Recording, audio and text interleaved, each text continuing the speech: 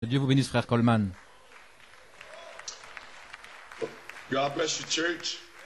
Que Dieu vous bénisse, Église. Salutations à vous, New York et Pennsylvanie. Tenons-nous debout. I'd like to invite your attention to St. John 14, verse 16, Saint Jean and Acts 4, 14, and Acts 16. 5. Reading from St. John 14, verse 16. And I pray the Father, Et moi je prierai le Père, et il vous donnera un autre consolateur pour être avec vous éternellement. L'Esprit de vérité que le monde ne peut pas recevoir parce qu'il ne le voit pas et ne le connaît pas. Mais vous, vous le connaissez parce qu'il demeure avec vous et qu'il sera en vous. Je ne vous laisserai pas orphelin, je viendrai à vous. Encore un peu de temps. Et le monde ne me verra plus. Mais vous, vous me verrez parce que je vis, vous aussi vous vivrez. En ce jour-là, vous connaîtrez que moi je suis en mon Père et vous en moi et moi en vous. C'est ce jour. Celui qui a mes commandements et qui les garde, c'est celui-là qui m'aime. Celui qui m'aime sera aimé de mon Père. Et moi je l'aimerai et je me manifesterai à lui. And Acts 4, Et acte verse 4, acte 4, gave the 33. apostles witness of the Avec une grande puissance, les apôtres rendaient témoignage de la résurrection du Seigneur Jésus. Et une grande grâce était sur eux tous. In Acts 5, 32, Et acte 5, we are 32. witnesses, we are his witnesses of these things. And so Nous sommes témoins de ces choses, ainsi que l'Esprit Saint que Dieu a donné à ceux qui lui obéissent. Le Seigneur ajoute la bénédiction à la lecture de sa parole et que le Seigneur bénisse l'écoute sa parole alors que vous l'entendez et dans vos cœurs. Que le Saint-Esprit puisse me to- toucher et fortifier mon corps fatigué pour vous relater les choses qui transparaissent maintenant. Pouvez vous asseoir? Eh bien, tout le monde se sent bien? Ah. Merveilleux. Est-ce que tout le monde peut se lever pour le dire? Merveilleux. Merci. Bien.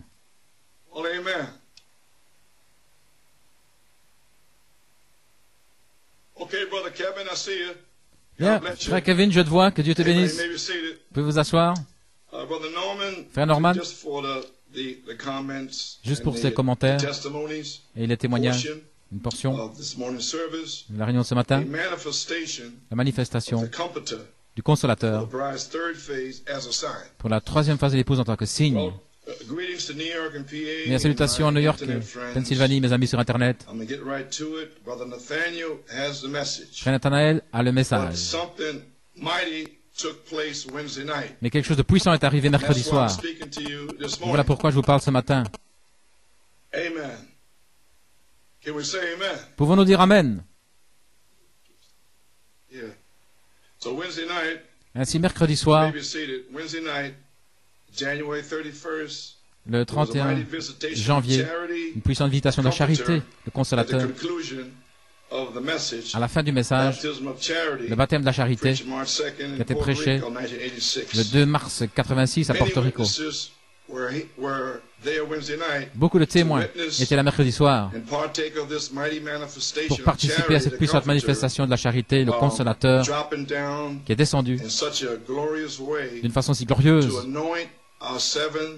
pour oindre notre foi de has become qui est maintenant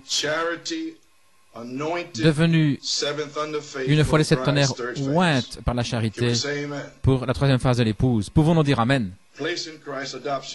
Place en Christ, le temps de l'adoption. Nous avons euh, toute une nuit de témoins concernant ces événements spirituels.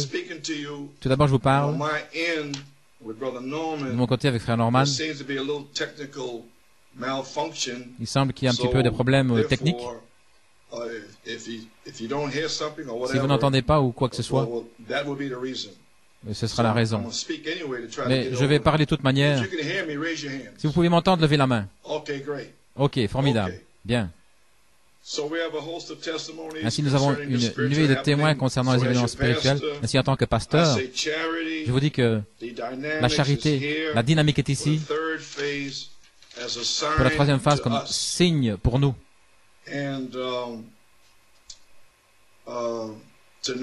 Et ce soir, I'm, uh, I'm going to play back uh, what happened Je vais euh, reprendre ce qui s'est And passé mercredi soir.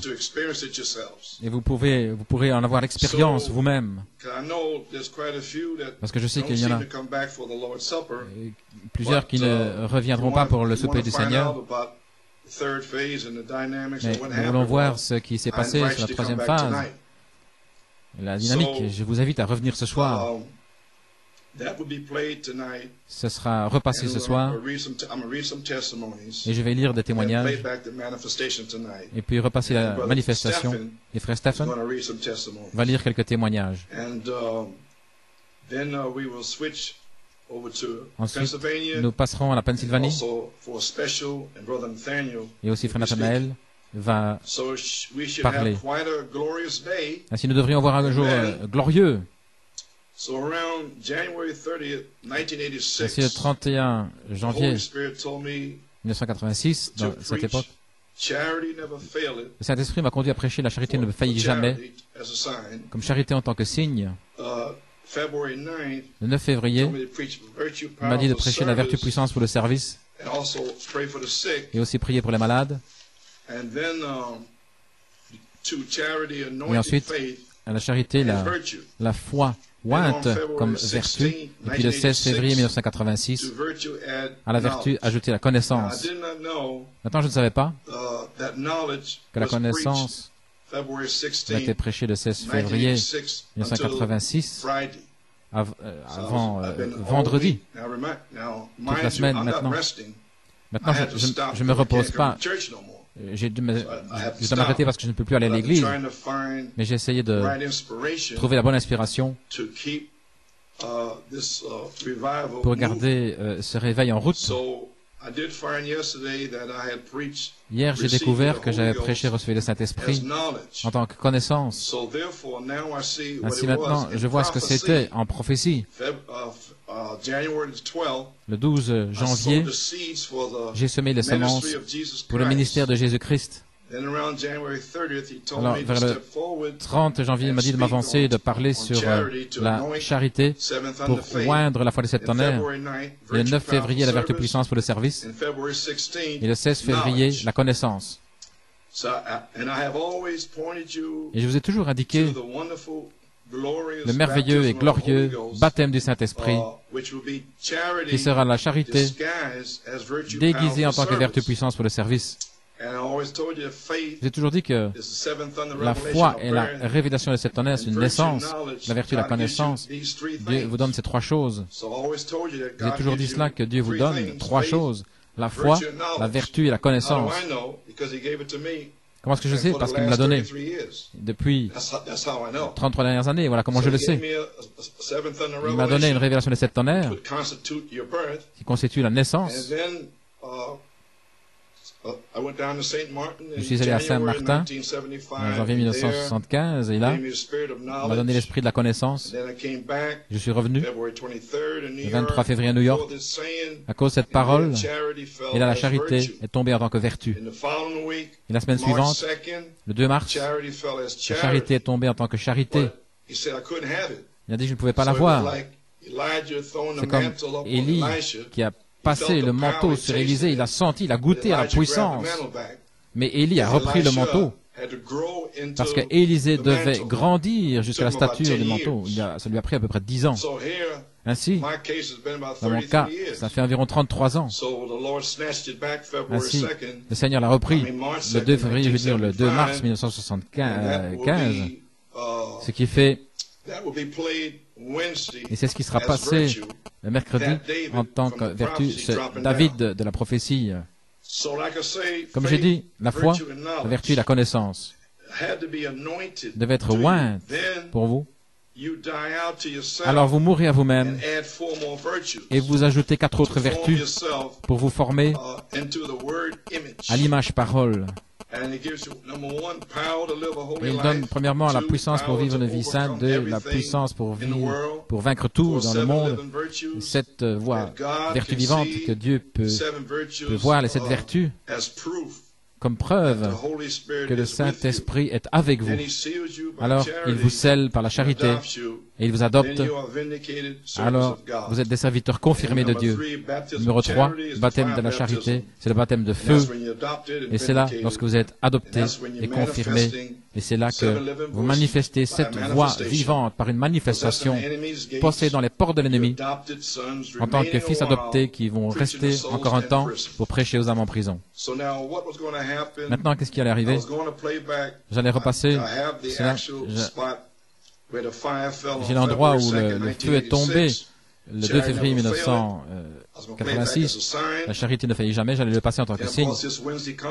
Et dans le mercredi qui vient, il y aurait un autre signe de la vertu puissance pour le service. Et le mercredi suivant, ce qui serait le 14 février, la connaissance qui sera ajoutée. Et comme je dis, quelque chose de puissant est arrivé mercredi soir. Ainsi, ce n'est pas comme signe, mais c'est ici. Ainsi donc, je vais passer cela ce soir. Comme j'ai dit, Dieu envoie la charité pour nous donner trois choses, la foi, la vertu et la connaissance. Et alors nous sortons. Et alors nous, nous faisons agir quatre choses par une mort à nous-mêmes, la tempérance, la patience, la piété, l'affection fraternelle. Et ceux qui se souviennent de 1974, c'est ainsi que j'ai prêché les tonnerres. Le premier dimanche était la foi.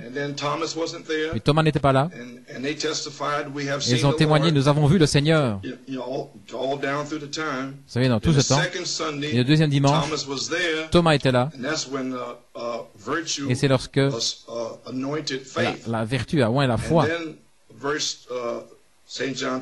Alors Saint Jean 20, 30 et 31, bénis ceux qui croient sans voir. Et là, c'est lorsque la connaissance a été ajoutée. Ce sont ces trois choses qui vous sont données. Ces trois choses qui étaient comme signes seront passées avant le 18 février. si vous vous souvenez, dans Saint Jean 21, uh, les disciples, après avoir eu ces trois choses, nés en eux, sont allés à la pêche. C'est lorsque Jésus les a rencontrés et qu'il les a emmenés dans un voyage pour euh, la tempérance, la patience, la piété et l'affection fraternelle. Et le jour de la Pentecôte, le baptême du Saint-Esprit est tombé pour l'adoption. Vous comprenez cela? Amen. Ensuite vient l'adoption pour sceller ses vertus en nous. Ainsi, par la foi, je dis ce qui était une prophétie en 1986, en février, le 2 février, la charité est tombée pour moindre la foi. Le 9 février, la vertu puissance sur le service a été manifestée comme signe. Et le 16 février, la connaissance fait ajouter à la vertu comme signe.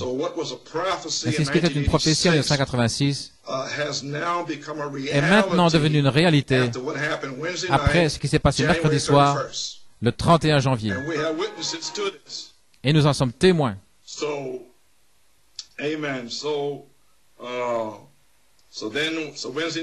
Ainsi, mercredi soir, euh,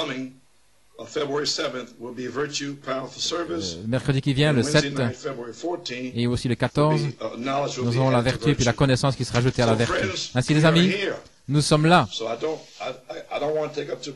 ne veux pas prendre trop de temps parce que je n'ai pas la force de même faire quoi que ce soit.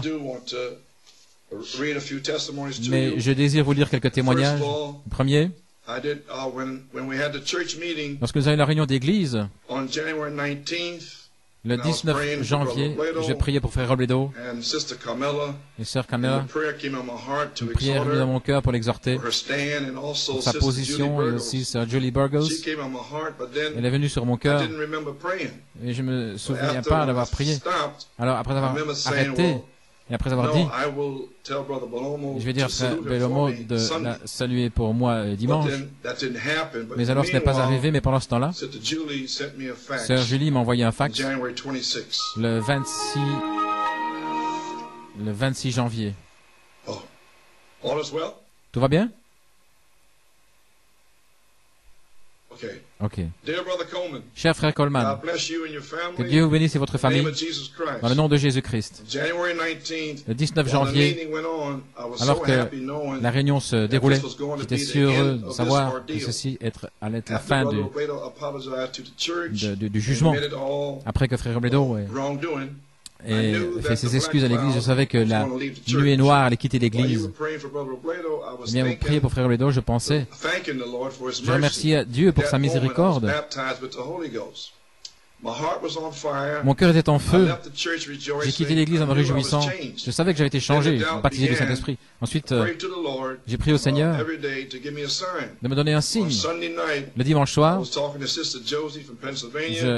parlais à sœur Josie de Pennsylvanie, et tout à coup le Seigneur est tombé dans mon cœur, il m'a dit que c'était une bénédiction d'être fidèle à la parole.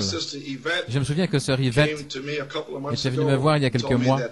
Il m'avait dit que le Seigneur lui avait dit de me dire qu'il allait me bénir pour avoir été fidèle à la parole. Le cas est terminé, j'ai reçu le Saint-Esprit. Merci, Frère Goldman, pour tout votre travail d'amour, que le Seigneur vous bénisse, avec mon amour en Christ.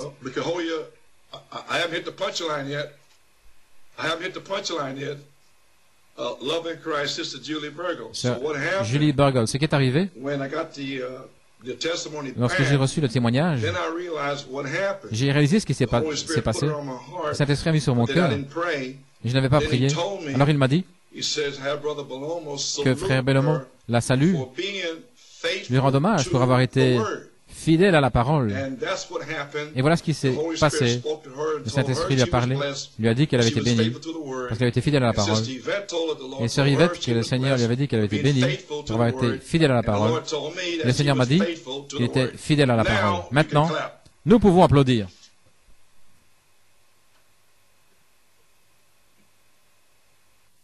Amen. God bless you, Sister Julie. Que Dieu te bénisse, Sœur Julie. Amen. Okay, you may be seated. Bien, vous pouvez vous asseoir. Le 31 janvier, immédiatement après ce déversement formidable de la charité, uh, Sœur Elizabeth Clark a écrit directement mercredi soir et Frère Bellomo me l'a amené à la maison. Sœur Elizabeth Clark, cher frère Coleman, je veux vous donner un témoignage de ce que le Seigneur a fait pour moi ce mercredi soir. Le Saint-Esprit, on pouvait le sentir dans le sanctuaire. Depuis le moment où je suis entré, je me suis mis à genoux. Au début de la réunion, j'ai prié avec un tel désir que le Saint-Esprit nous visite. Et frère Coleman, il n'a pas failli de le faire. Il nous a visités avec une puissante visitation.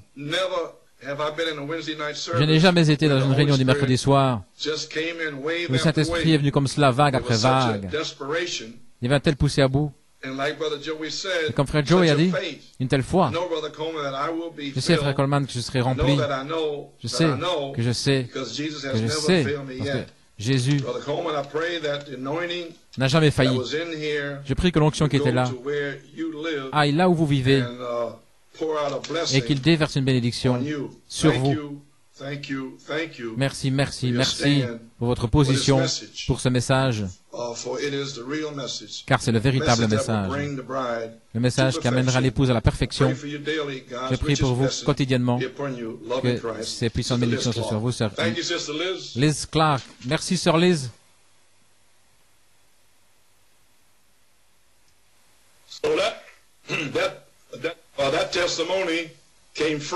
Ce témoignage est venu fraîchement. Mercredi, il y en a d'autres qui vont être lus et frère Stephen va les lire. Uh, il y en a deux ou trois ici que je désire mentionner.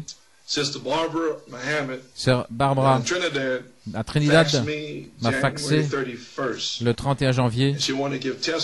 Elle voulait donner un témoignage.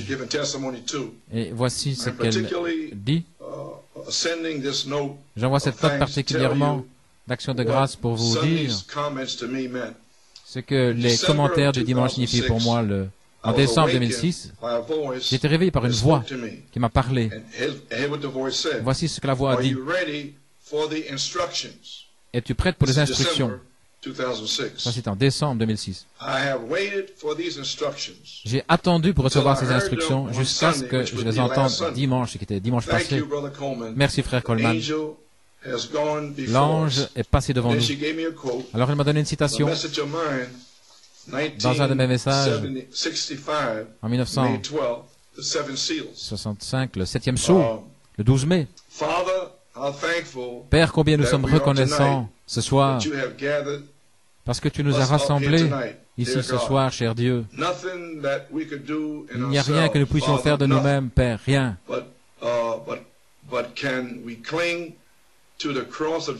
Mais simplement nous accrocher à la croix de Jésus-Christ. Père, nous savons que une grande grâce est venue sur la terre. Une grande grâce vivante pour l'épouse de Jésus-Christ. Et maintenant, pouvons-nous dire Amen à cela? Nous sommes entrés dans une grande grâce, acte 4, une grande puissance, et nous y sommes. Amen. Amen. So also, maybe seated, uh, Brother David Thompson phoned me. Frère David Thompson m'a aussi téléphoné. Uh, and told me he had a tremendous experience. Il m'a dit qu'il a une formidable expérience. Uh, Thursday, jeudi, le 1er février. So David, uh, J'ai dit, David, peux-tu me la, la faxer? Il me l'a faxé hier, et voici son témoignage. Il était là mercredi. Cher pasteur Joseph Coleman, salutations au nom de précieux de Seigneur Jésus-Christ. C'est avec une grande joie que je vous écris aujourd'hui pour exprimer mon appréciation au Seigneur pour sa grâce et sa miséricorde. pour les ouvriers de la 11e heure. Quelle consolation de savoir que le consolateur est là dans cette heure d'épreuve. Difficile de dire l'expression de joie d'avoir été consolé par sa parole. Frère dit que la consolation de Job dans les épreuves, c'était la parole de Dieu. Le 1er février, vers 2 de l'après-midi, j'écoutais une bande. Il prend soin de vous. Dans cette bande, Frère Branham parle de comment Dieu a toujours désiré avoir la consolation, comment il est fait pour être consolé. Il continue en disant que l'homme, au temps de, de besoins, il essaie de se consoler avec différentes choses. Et les cieux pentecôtistes, les cieux de la Pentecôte sont remplis de la consolation. Et ceci, c'était le jeudi, donc après le mercredi. Alors que Frère Branham prononçait ces paroles, le Saint-Esprit a tonné dans mon cœur. Le consolateur est venu. C'était jeudi. Et c'est de là que j'ai pris mon titre ce matin, lorsque le consolateur sera venu. Donc ceci est le témoignage de David Coleman. J'ai commencé à pleurer comme un bébé, alors que la présence de Dieu remplissait la pièce, commençait à déverser cette consolation dans mon âme. Je ne peux pas dire assez au sujet de cette consolation. J'ai commencé à méditer sur ce que le Saint-Esprit avait parlé à mon cœur à travers toutes les épreuves. Il a vérifié une écriture Saint Jean 14 parlant d'un autre consolateur, c'est ce que j'ai lu ce matin le Saint-Esprit. Et le but principal de ce consolateur, c'est de nous conduire dans toute la vérité, de nous montrer les choses à venir et de nous ramener toutes les choses à la mémoire. Dans les deux dernières semaines, il m'a conduit dans toute la vérité, me montrant les choses qui doivent être et ramenant des choses à mon esprit, comme où étais-tu lorsque les étoiles du matin poussaient des cris de joie que tous les fils de Dieu se réjouissaient je suis là et je me repose sur les promesses. Merci, frère Coleman. Et pour votre amour de berger envers moi, je ne peux pas suffisamment exprimer l'amour que j'ai dans mon âme pour vous. Et ce ministère béni, sachez que vous avez un ami en Pennsylvanie. Et j'ai dit plus qu'un ami. Que les plus riches bénissements de Dieu soient sur vous. David Thompson. Eh bien, merci David, j'apprécie cela. Okay. I have one more uh, testimony to read. J'ai encore un témoignage à lire. Uh, this is Brother Stephen's testimony. C'est le témoignage de frère Stephen. So I told him I don't think that uh, he would want to read his own testimony. Je pense pas qu'il voudrait lire son propre témoignage, donc je vais le lire pour lui. Le 1er février, cher frère Coleman, j'ai désiré prendre quelques moments pour partager avec vous mon appréciation pour ce que Dieu vous a conduit à faire pour l'épouse dans cette saison de la dynamique. Quel déversement de la charité hier soir. Véritablement, l'une des onctions les plus puissantes que j'ai jamais ressenties un mercredi soir. J'étais étonné de la manière dont Dieu est descendu, la charité sur vos paroles que frère Joey a ramené de votre part à la fin de la réunion. Dès que vous avez identifié la parole parlée, la troisième phase, aller après les perdus, le Saint-Esprit est descendu d'une manière que je ne peux pas décrire. Cette présence, présence extraordinaire, je peux simplement remercier Dieu pour sa grâce de m'avoir permis de reconnaître sa présence au milieu de nous. Cet ange voilé derrière votre ministère apostolique pendant toutes ces années. Chaque jour davantage, cela devient de plus en plus clair.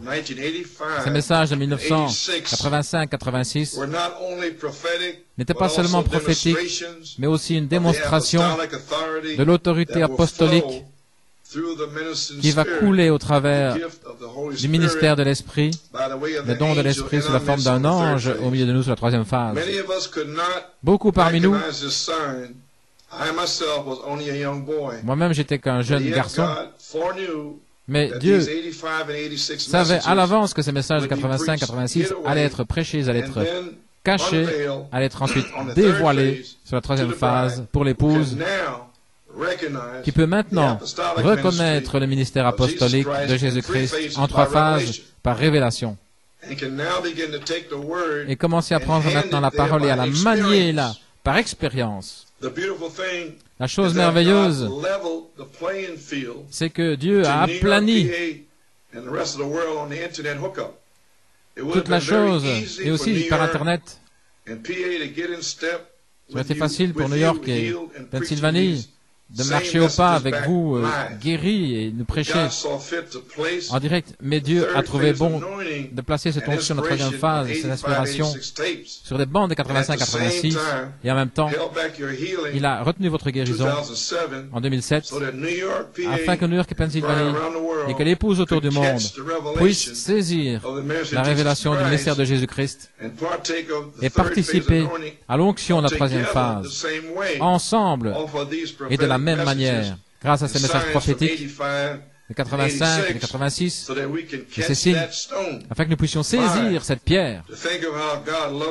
Pensez comment Dieu aime tellement son épouse. J'aime comment vous avez placé cette inspiration sur le vêtement de noces dans le message, l'appel au souper dans un agneau. Dieu, dans son plan divin, a utilisé un ministère prophétique pour donner une invitation au souper des noces de l'agneau, pour appeler une église hors de dénomination et une épouse hors d'une église par un message du cri. Mais alors Dieu a placé un ministère apostolique là, à la porte de la salle du souper de pour préparer l'épouse, en la nourrissant par les sept tonnerres, la voix de l'archange. Et là, combien sont satisfaits simplement de recevoir une invitation et cependant,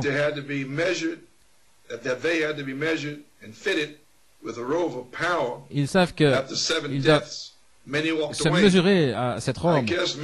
Beaucoup sont partis parce qu'ils ne voulaient pas entendre Beaucoup ont entendu qu'ils étaient trop graves avec les interprétations et les idées d'hommes pour s'adapter, pour s'ajuster aux vêtements de noces. Certains, ils ne voulaient pas entendre qu'ils étaient trop squelettiques et mal nourris à cause de leur raisonnement et de ce qu'ils pensent être juste afin de revêtir cette robe. Mais merci Seigneur, parce que votre ministère apostolique n'a jamais fait défaut pour mesurer, pour euh, nous ajuster à ce vêtement de noces et nous amener dans le réveil des septonnaires. Lorsque l'épouse revêtira ce vêtement de noces, alors le quatre ministères vont pouvoir les placer là, chacun à leur place, passer positionnellement en Christ au souper des noces de l'agneau.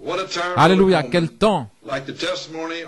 Comme le témoignage, vous avez lu hier soir parce que tu as choisi le sentier étroit, le chemin le plus difficile. Tu as marché selon ton propre choix. Tu as pris la décision correcte et précise, et c'est mon chemin. À cause de cette formidable décision, une énorme portion du ciel t'attend. Quelle glorieuse décision tu as prise. Ceci en soi et ce qui donnera et fera s'accomplir la formidable victoire dans l'amour divin. Frère Coleman, nous entrons maintenant dans la prophétie du prophète. Votre guérison fait partie de cette formidable victoire dans l'amour divin. Dans l'amour divin. Nous apprécions, frère Stephen China. Merci, merci, frère Steph. Amen. Alléluia. Thank you. So now, so now we know, as Brother Stephen, Maintenant, uh, nous savons dropped que, alors que frère Stephen a donné ce témoignage, there's, there's two uh, uh, uh, spiritual happenings il y a deux événements spirituels que j'aimerais euh, éclairer. Uh, au sujet de mercredi soir. 1976, En 1986, le 19 I avril, j'ai commencé là sur le champ missionnaire avec l'amour divin. uh, down in 1976 in Europe. En 1976, en Europe, jusqu'en That 86. was my first visit there. C'était ma première visite là-bas.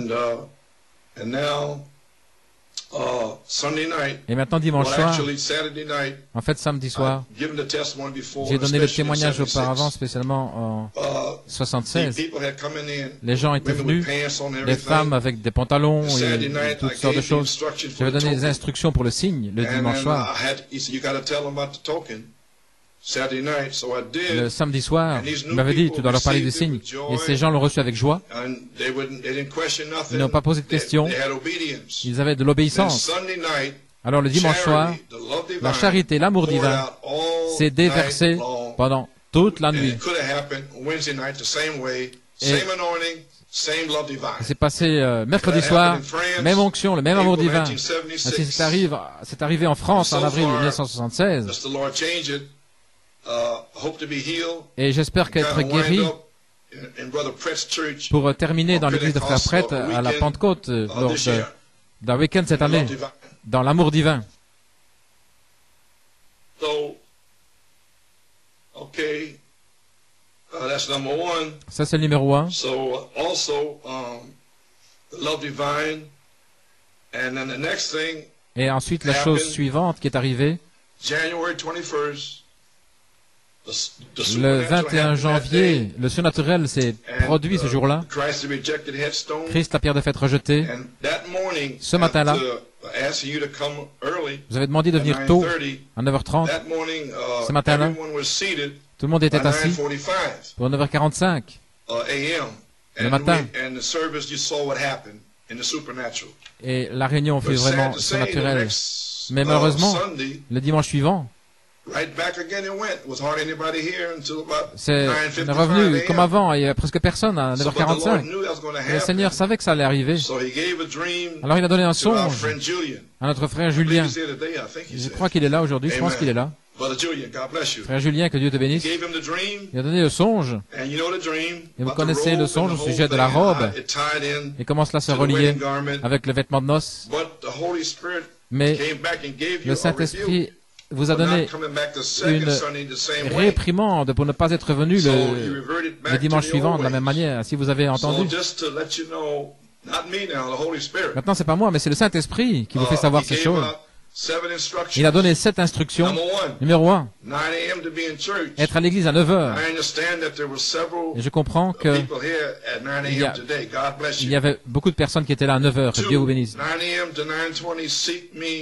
9 a.m. to 9:20, seek me, letting De 9h à everything 9h20, else cherchez go. moi et que tout le reste s'en aille. Numéro 3, 9:20 to 9:35, pray for 9h20 the sick. 9h35, priez pour les malades, priez pour les perdus.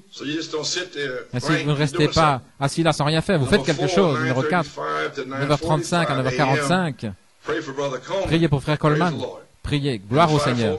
Et le quintuple ministère. 9, 5, 9:45 to 10 a.m. Dance, shout. Ensuite, 9h45 à worship 10h. before Dansez, poussez des cris, réjouissez-vous avant que vienne le conducteur de chant, lorsqu'il vient à la saying chair. Alors vous êtes censé uh, uh, uh, le nourrir de feu, lui donner du feu avant qu'il n'arrive, alors qu'il vient. Numéro 6, while the song leader's alors que le conducteur de chant donne ses instructions pour la réunion, nourrissez-le de feu. Maintenant, numéro 7, he told me to bring back to you, il m'a dit de vous ramener ceci. Après avoir obéi aux six premières instructions, lorsque vous obéissez aux premières instructions, alors il a dit, ceci est votre jour. Quand est-ce votre jour? Quand vous obéissez aux premiers. Alors c'est votre jour. Ainsi, alors que ce message était là dimanche passé, le 1er juin, si vous vous souvenez, j'ai dit le 1er juin, il y a un changement dans le temps. Nous passons du témoignage corporel à des individus. si nous sommes passés aux individus, ainsi vous tous, des individus qui veulent obéir à ces six instructions, eh bien alors certainement, l'instruction numéro 7, ce sera votre jour, ainsi que le Seigneur vous bénisse. Je désire apprécier tous ceux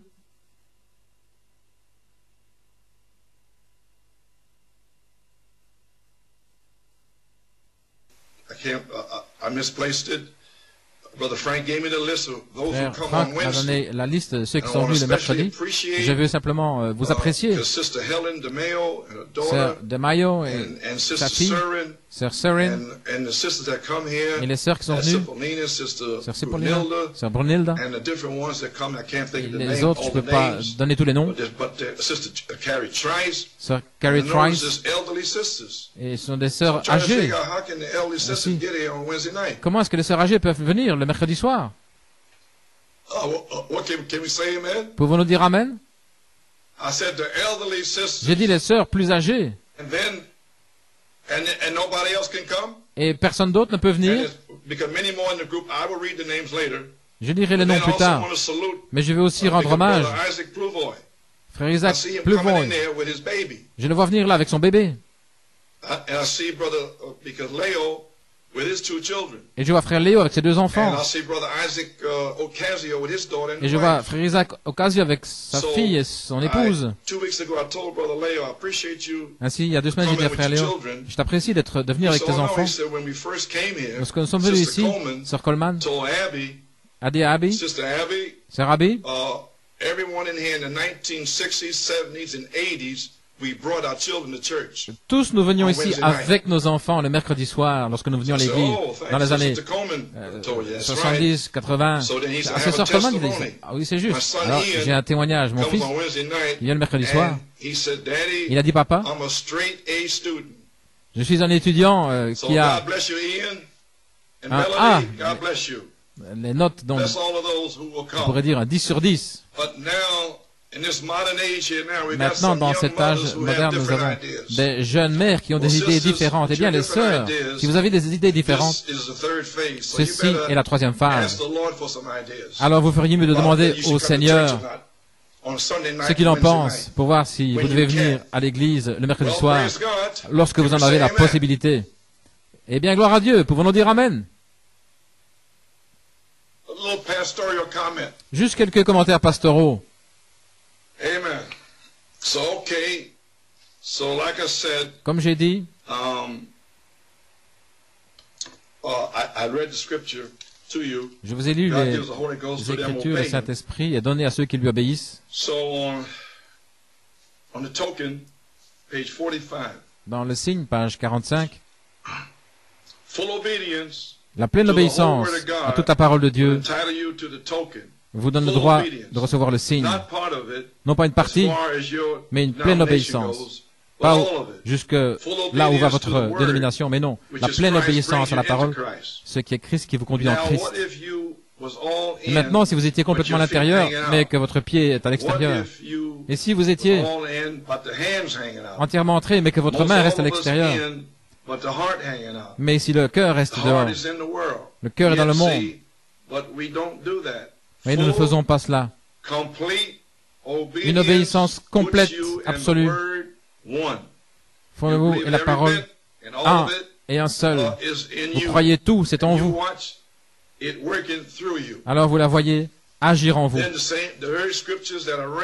Alors les écritures que j'ai lues en France en 1976. Voici ce que je leur ai lu juste avant que la charité ne se déverse le dimanche soir, jusqu'à lundi. Croire quoi? Croire le Seigneur Jésus pour votre maison. Appliquez le signe dans votre maison. Maintenant, écoutez ceci. Alors vous entendrez les témoignages, comment la charité et la foi différents pour leur famille. Voilà, voilà pourquoi je fais ceci. Alors que faites-vous lorsque vous l'appliquez? À votre maison. Vous déplacez, vous, vous enlevez toutes les saletés, vous faites sortir tous les, les shorts, les, les, cartes, les cigarettes, télévision, quoi que ce soit. Vous euh, jetez ça par la porte, vous appliquez le signe. Vous ne supportez pas. Vous enlevez tout.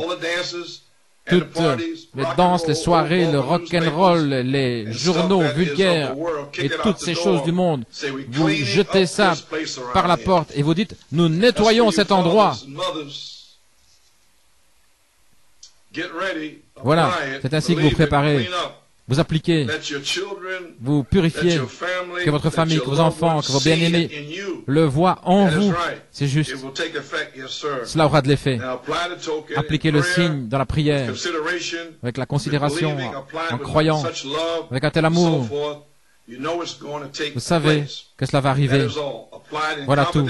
Appliquez-le avec confiance, en croyant que ça va uh, aider. Quand vous parlez à cet enfant, à ce mari, à votre épouse, ou bien-aimé, croyez que cela va aider et tenez-vous là en disant, Seigneur, je les réclame, ils m'appartiennent. Euh, ils sont pour toi, Seigneur. Vous appliquez cela, vous créez l'atmosphère autour de vous et ils vont directement y entrer. Et vous avez le signe, vous créez un esprit autour de vous, une puissance. Et lorsque les gens entrent dans cette atmosphère, les gens savent que vous êtes chrétien. Vous pouvez leur parler.